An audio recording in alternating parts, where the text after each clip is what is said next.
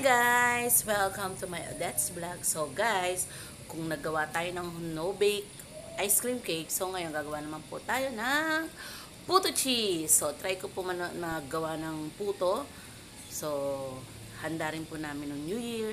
So ayan, isi-share ko po sa inyo kung paano ko po ginawa ang aking my own version na puto cheese.